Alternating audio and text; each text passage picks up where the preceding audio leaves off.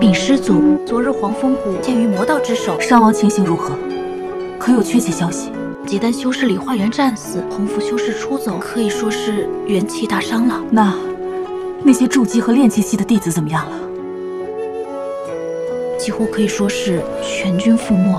你说，全军覆没，没有生还者？好了，你下去吧，我要闭关修炼一段时间。这期间没有我的准许，任何人不得出入我的房间。韩立，你可别这么轻易就死。